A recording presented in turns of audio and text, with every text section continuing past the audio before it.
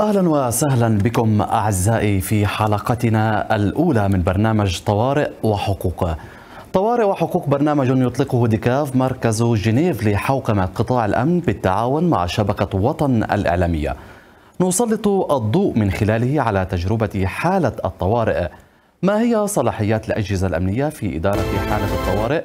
آليات الشكاوى وعلى التدابير المعتمدة لضمان احترام حقوق الإنسان وعدم انتهاك أي من تلك الحقوق.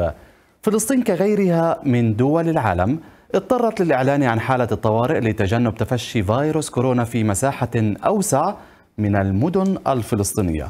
ووقع على عاتق الأجهزة الأمنية مسؤوليات كبيرة في حفظ الأمن والتأكد من سير الحياة بشكل يضمن الوقاية والأمان الصحي للمواطن. إعلان حالة الطوارئ لا يعني المساس بحقوق المواطن بما فيه حقه في تقديم شكوى ضد الأفراد والمؤسسات الحكومية والأمنية كيف تم التعامل مع قضايا المواطنين خلال هذه الفترة؟ هل تم تطوير نظام الشكاوى ليتماشى مع حالة الطوارئ؟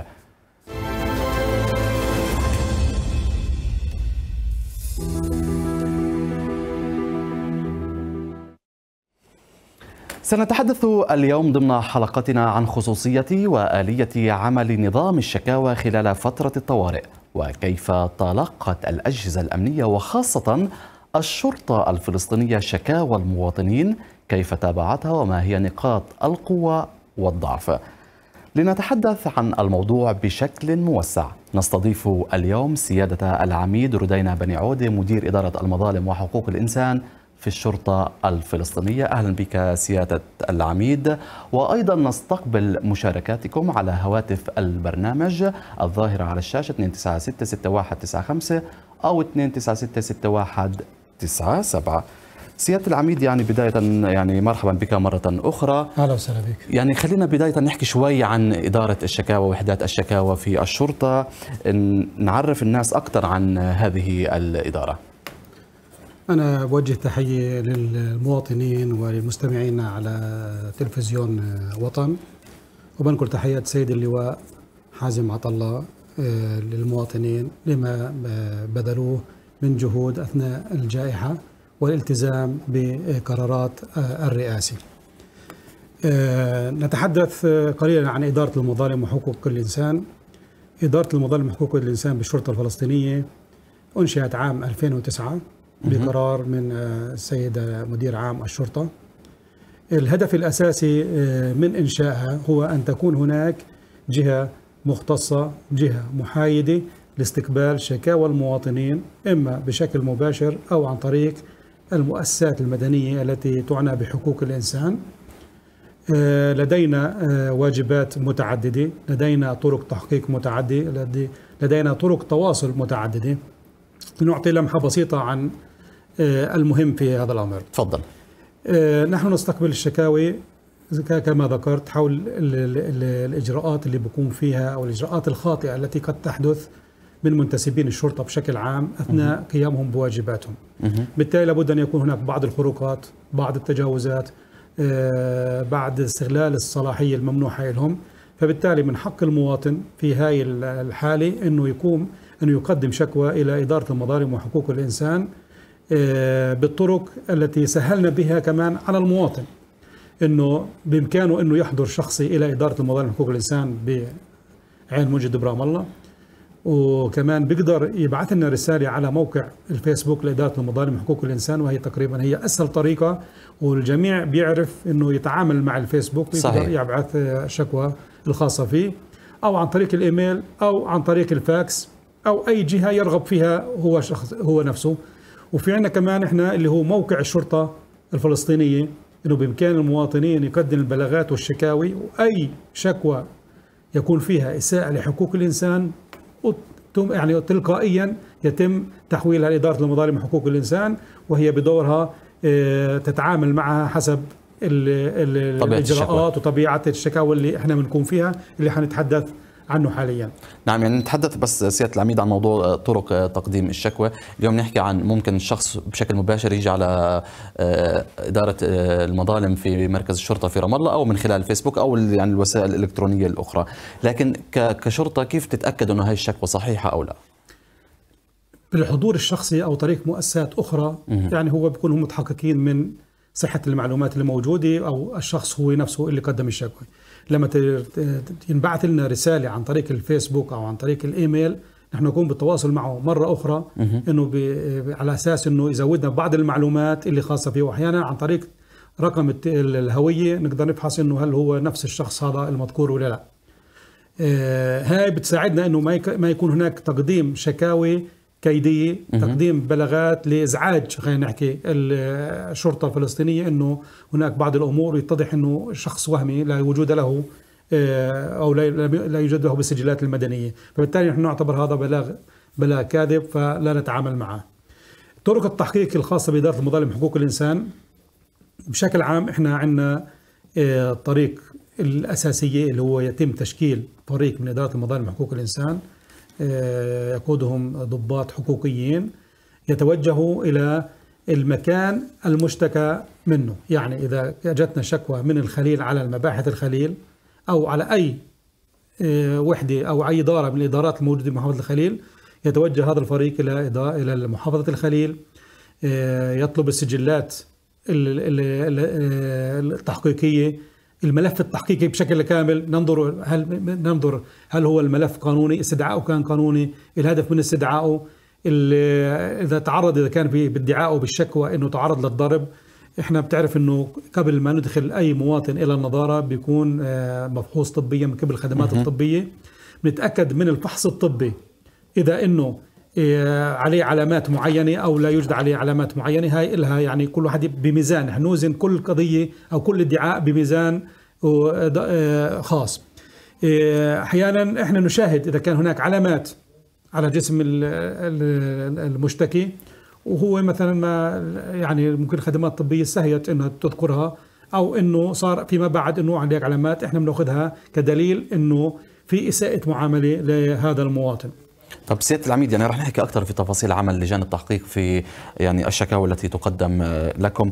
لكن فيما يتعلق بموضوع يعني آه، نظام الشكاوى أو إدارة المظالم في الشرطة هل جميع المواطنين يعني بيعرفوا إنه في مثلا جهة معينة ممكن يقدموا لها شكوى؟ يعني هل قمتم مثلا بتكثيف حملات التوعية الخاصة بتقديم الشكاوى؟ وإحنا بنعرف إنه مثلا هناك يعني وفقا لمؤسسة أمان استطلاع أجرته مؤسسة أمان عام 2018 34% من الأشخاص لا يعلمون عن وجود يعني نظام شكاوى.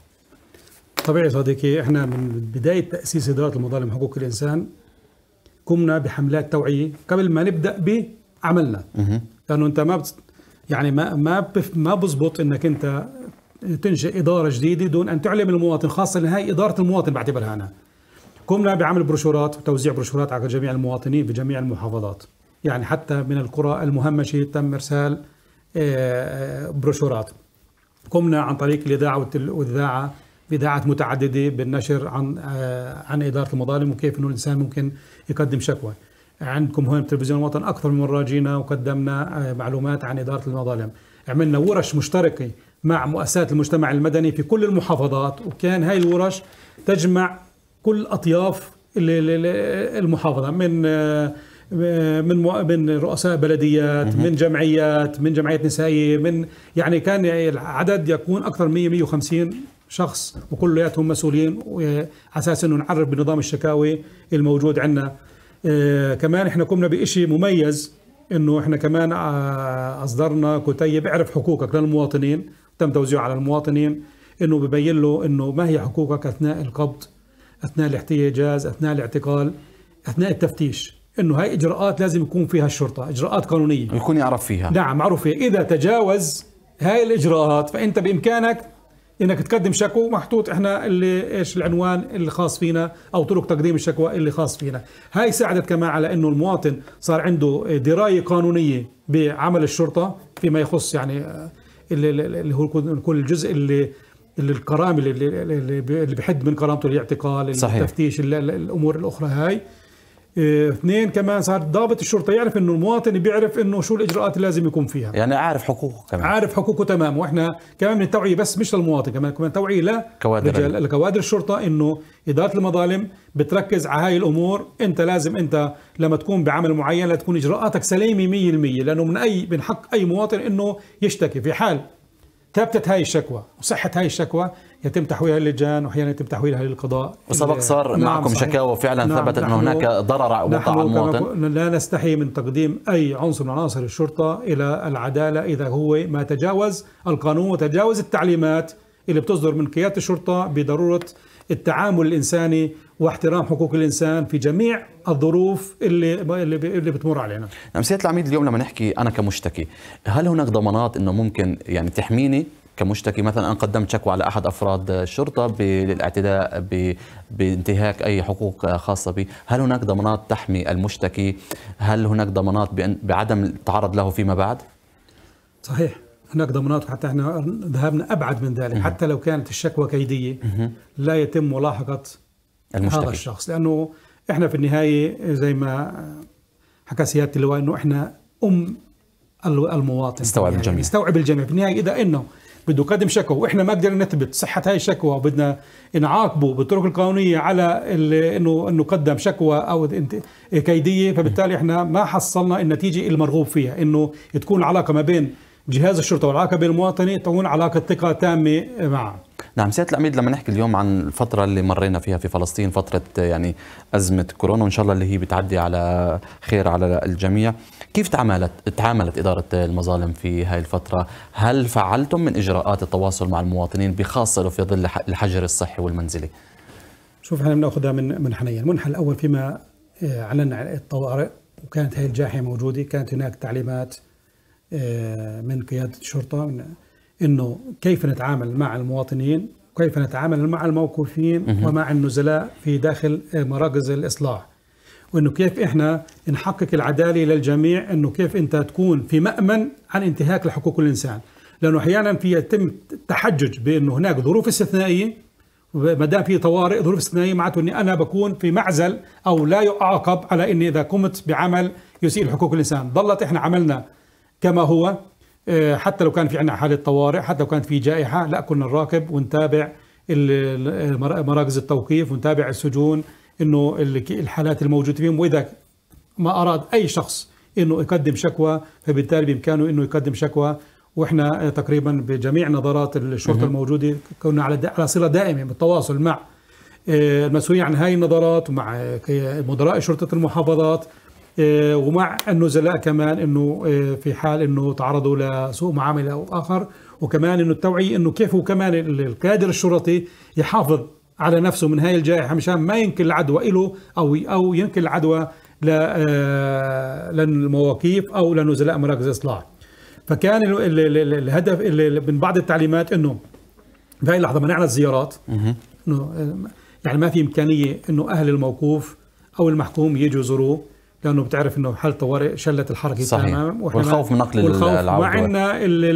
ال- يعني ادوات الفحص اللي تقدر تفحص أنت الكاملة إنه هذا المواطن إنه آه، عنده إصابة بالكورونا أو غير فبالتالي كنا يتحمل هذا الموقوف وهذا النزيل بإمكانه كمان التواصل عن طريق التليفون كانوا يتواصلوا عن طريق التليفون مع اهاليهم يتواصلوا مع أقربائهم أصدقائهم وظل الحمد لله لغاية الآن لم يصب أي من كوادرنا العاملة أو أي من الموقوفين والنزلاء في مراكز الاصلاح بجائحه الكورونا. بالنسبة للشكاوى خلال فترة الطوارئ هل آه، كان هناك يعني آه، زيادة في عدد شكاوى مقارنة مع آه، الأشهر السابقة أم كان الوضع طبيعي؟ لا هي كان في انخفاض بالشكاوى. لأنه كان في هناك عند عندك إغلاقات كاملة وتسكير لجميع المحافظات فبالتالي حتى الجرائم كانت يعني بأدنى مستوياتها إلا يعني قليل جدا كان في مخدرات كان في مثلا بعض ال- الجرائم الإيذاء وكذا وكنا على صلة و- ومتابعة وكوادرنا العاملة كمان ظلت بالمرصاد من خوف إنه يرتكب جريمة معينة خاصة في في في بعض ال- ال- المحافظات أو بعض القرى إنه في لهم بيكون طار عند ناس معينين فبالتالي. كانت كل الأنظار متوجهة ممكن يستغل هاي هاي الظرف وإنه يقوم بعمل آه، آه، جناية معينة.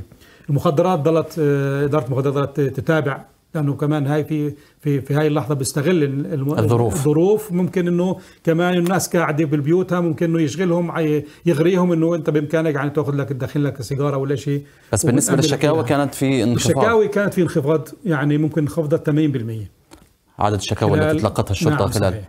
نعم. لأنه أول شيء أنت بتحكي إنه آه، مواقيف ما كان عندنا موجودين كثير. كان هم هم المواقيف. الا إلا من يرتكب جناية أو يضبط بحالة التلبس. كان يتم مثلا إدخاله للنظارات وكان يعني الأسلوب المتبع إنه كمان أنت احترامك حقوق الإنسان لهذا المواطن.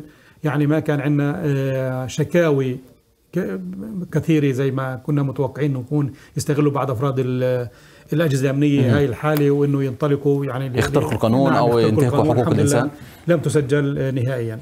اليوم نحكي عن مو... عن طبيعة الشكاوى التي تقدم لكم. يعني شو هي الشكاوى اللي تقدم؟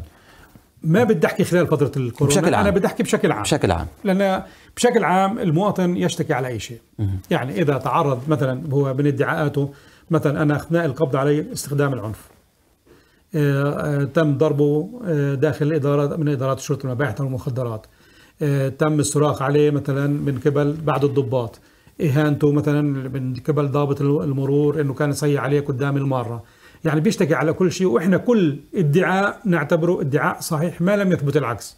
وأي بلاغ كمان بيجينا كنا نتحقق من صحة هذا البلاغ وكنا مثلا نتعاون نتم مراسله مع مدراء شرطة المحافظة حول البلاغات اللي هي لا تكون من اختصاص إدارة المظالم ولكن لأنه بالبرنامج أو الشكاوي اللي موجودة في في على موقع الشرطة كانت تجينا أوتوماتيك بس ما في نعم. شكوى ممكن تهملوها أو بلاغ ما تتعاملوا معه لا إحنا دائما نحن نتابع ب- بنفس الجهة اللي بتصلنا بنتابع معها بالإيميل أو بنتابع فيه عن جهات على الفيسبوك واحيانا على بنتابع عن طريق ال- ال- ومهما كانت نعم. الشكوى يعني ضد أي شخص مسؤول فيش واحد يعني آه، فوق القانون لا لا يوجد أحد فوق القانون الجميع مسائل ما, ما لا من يرتكب أي مخالفة ما يرتكب ما لم شو اسمه يتم ادعاء الشكوى عليه لا أحد يعني آه، آه، محصن. محصن من منها من من من, من استدعائه والتحقيق معه وأخذ ال- ال- البينات في حال كان آه، يعني إحنا بنعرف كثير يعني المواطنين دائما بيلجوا أكثر للشرطة في الش- الشرطة موضوع يعني الشكاوى هل كانت يعني يعني تلقيتم شكاوى يعني بت- بتخص أجهزة أمنية أخرى غير الشرطة؟ آه، شوف إحنا آه، في عنا حالة من التعاون ما بين الأجهزة الأمنية. عندنا إحنا فريق الوطني للشكاوي. فريق الوطني هذا مكون من أجهزة الأمنية ومكون من أجهزة مدنية. دائما على تواصل ما بيننا إحنا كفريق. آه، عملنا ورش متعددة. آه، إذا بيجي إذا أحيانا بيصلنا مثلا بعض ال- الادعاءات آه، بيتصلوا فينا إنه فكروا إنه إحنا مسؤولين عن كل الأجهزة الأمنية إنه عند المخابرات أو عند الوقاية. إحنا تلقائيا من من حيله من بوجهه إنه عليه التوجه إلى ال- ال- الوقاية أو إلى المخابرات أو الاستخبارات أو أي من الأجهزة الأمنية الأخرى. هناك في عندهم آه، وحدات شكاوي بيقدر يقدم شكوته هناك. وللعلم يعني لا كل المواطنين جميعا. إحنا في كل الأجهزة الأمنية موجود وحدات شكاوي. في كل في الاجهزه كل الأمنية. الأجهزة الأمنية نعم في وحدات مفعلة وبيستقبلوا الشكاوى وبيحلوا الشكاوي الموجودة. يعني أي مواطن على أي جهاز كان بيقدر بيقدر إنه يقدم شكوى. في الحديث عن تقديم الشكوى قديش بالنسبة لكم كان مهم آه، تقديم شك الشكوى إلكترونيا سهولة تقديم الشكوى؟ هل كان هذا الخيار آه، سلس في للمواطنين وكان فعلا هناك الناس تقدم شكاوى من خلال من خلال يعني الأونلاين صح هو يعني ممكن يكون أسهل طريقة إنه يقدم الشكوى آه، ولكن بالنسبة لنا إحنا التعامل مع الشكوى المباشر أسهل من التعامل مع الشكوى الإلكترونية. الإلكترونية الشكوى المباشر تأخذ كامل ال- الإفادات تفاصيل. ال- التفاصيل اللي كمان أنت بتحكي عن لغة الجسد أحيانا هو بيقدم لك شكوى وبيحكي عن تفاصيل أنت ب- بت- يعني بت- بتوثقها. بهم بتوثق إنه يعني إنه في شيء مثلا هاي ما, ما لازم تكون كيدية. بس أنت أحيانا لما تكون على البرنامج الإلكتروني إحنا بنرجع مرة ثانية له بنستفسر منه عن بعض الأمور بزودنا فيها مرد بنستفسر منه عن بعض الأمور بزودنا فيها فبالتالي بتأخذ معنا وقت. ولكن إحنا ما دام النتيجة هي واحدة إحنا ما عندنا مشكلة. صح بتكون هنا أصعب عندنا بس لكن إحنا بنتعامل معها كأنها مباشرة وبنتواصل للنتائج وبنبلغهم بالنتيجة اللي بنصل فيها. اليوم لما نحكي عن المرجعيات القانونية اللي يعني بتنظم موضوع الشكاوى في المؤسسة الأمنية آه، يعني نحكي ما هي هذه المرجعيات القانونية؟ وهل هناك تنسيق أيضا مع يعني مجلس الوزراء وإدارة الشكاوى في مجلس الوزراء؟ يعني إحنا المرجعية اللي أخذناها هي قرار إنشاء إدارة مظالم حقوق الإنسان بحقوقها واجباتها وطرق التحقيق فيها. فهي كانت زيها زي أي إدارة موجوده زي إدارة المباحث المخدرات المرور. فإحنا من هون إحنا بنتعامل بشكاوي زي ما تقول الشكاوي التي لا يرغب مقدمها إنه اللجوء إلى المحكمة لسرعة البت في هاي في هاي الشكاوي. إنه ممكن يقدم عندنا شكوى فبالتالي عندنا سرعة في البت فيها قبل ما إنه بده يوديها لل- لل- للمحكمة. بده بينات وبده مش بده ممكن تعالجوها أسرع. إحنا بنعالجها أسرع وبنعالجها صديقي صديقني بنعالجها بشفافية كاملة. ما عندنا إنه هذا شرطي ارتكب مخالفه معينه إنه أسكر ممكن إنه ممكن أسكر ممكن. لا لأنه أنا أساس عملي أساس عملي إنه أنا أحقق بهاي الشكاوى ل- ل- المواطنين زي ما هو أساس عمل إدارة المباحث إنه آه، وقت الجريمة قبل حدوثها ومتابعه وملاحقة المجرمين كمان أنا من حقي كمان أنا أثبت وجودي صحيح. ولاحق من يسيء آه، بس هذا استخدام أكيد الصلاحيات بس هذا أكيد يعني بيفرض عليكم ضغوطات كبيرة شوف في البداية كان في البداية التكوين كان هناك يعني خلاف و... واستهجان إنه أنت جاي مشان واحد حرامي بدك تجيب الضابط والمدير الفرع وكذا وكذا. كنت ماشي هو بغض النظر ارتكب ارتكب هاي الجريمة ولكن في قانون بيعاقبه. أنت ما دام أنت خالفت هاي القوانين والتعليمات لا بدك بدي أستدعيك وبدي أخذ منك وأنت رجل. قانون، المفروض إنك أنت- رجل قانون. فبالتالي يعني شهر عن شهر صار عندنا في أريحية حتى بالتعامل ما بين الضباط إنه مجرد إنه نستدعي الضابط. إنه في عندنا قضية بطرف بيحضر وبيقدم المعلومات الل- اللازمة. يعني اليوم إحنا لما نحكي في إحنا اليوم في 2020 آه، تم إنشاء في 2009 يعني بتحكي عن 11 11 سنة سنة. آه، لمستوا فرق في آلية عمل إدارات الشكاوى وإدارات المظالم؟ قديش صار في نقل نوعية في فهم آه، والتعامل مع الشكاوى؟ صحيح. يعني لو قبل هذا ال- الوقت يعني بال 2008 و2007 حتى يعني اللي اللي بيحدث هذا الفرق هي مؤسسات المجتمع المدني. كانت عندنا شكاوي ما بديش أحكي لك بالمئات. لكن لما أنشئت إدارة المظالم حقوق الإنسان وفي كمان عندنا وأجهزة رقابية داخلية عندنا أمن الداخلي وعندنا كمان المفتش العام. لما أنشئت هذول اجهزه الرقابه لا كان في بيعرف الضابط إنه مراقب إنه إذا أخطأ بده يتلاحق وبده بده يتعاقب وبده يتعاقب يعني ب- بمهنته تفضل. يعني ممكن إنه العقوبة تكون مثلا تنزيل رتبه ممكن العقوبة تكون تاخير اقداميه ممكن العقوبة تكون سجن ممكن عقوبة عقوبه عقوبات متعددة بتأثر في المستقبل على إنه بده يس إنه يصل لمنصب معين هاي بتكون بتحد من من هاي الأمور. فبالتالي صار في نقلة نوعية عندنا نقلة نوعية كمان عند عناصر الشرطة إنه أنا إلي عند هالمواطن بحقق معاه في النهاية ما إلي ما إلي غير هيك. صح ممكن إنه يحدث بعض الخروقات يعني ما في حدا كامل في النهاية. سواء عندنا بالشرطه الفلسطينيه أو شرطة السويد أو وين ما كنا التقينا مع يعني بورش عمل مع كثير من الخبراء بقول لك يعني هاي الشكاوى موجودة. بس نسبة الصحيح فيها قليل جدا. يعني المواطن بيشتكي.